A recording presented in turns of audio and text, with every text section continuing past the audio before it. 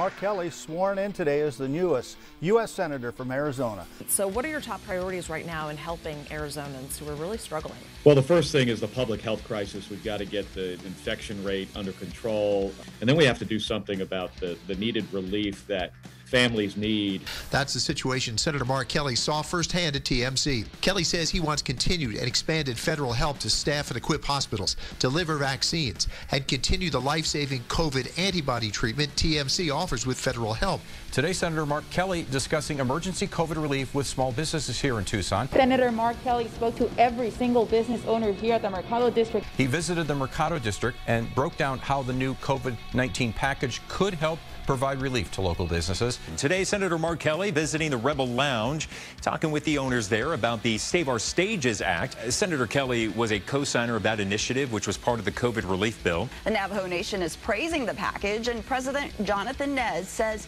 he's grateful for Senator Kelly's support of tribal nations. When time allows, Senator Kelly's been delivering meals to mostly elderly, low-income people who must stay in their homes.